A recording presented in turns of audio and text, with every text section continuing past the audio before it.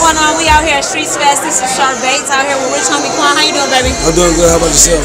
I'm doing pretty good. So we got you out here at Streetz Fest. What you performing today? You know you got some songs you can perform. I'm come out there on that flex, so I gotta do my single flex. Okay. One of my favorite songs right now. I gotta do Milk Marie too. I know they want to see the dance, so I gotta. You know we got to hold on. Can I get the dance real quick? Real quick. You gotta wait to see it on stage. Tea. Gotta keep, gotta keep, you know, inquiring minds want to know, curiosity. Yes, we want to know. So yes, we want to know. gonna be a great show. Though. You know, Hey, what it do, man? It's your brother Tony Coin. Right now, I'm on the Shar Bates Show. Three words, Rich baby.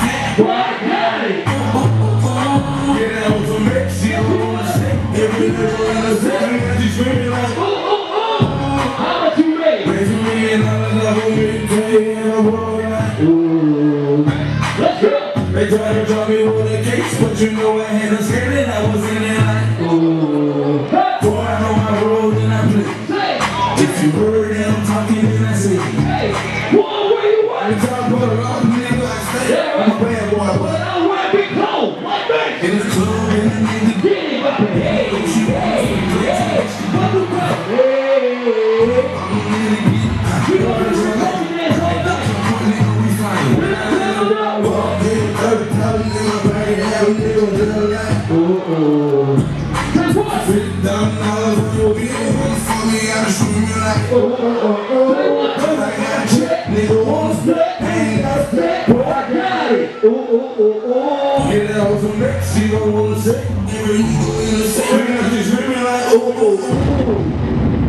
Oh, oh, oh, oh, oh. I say, shoot.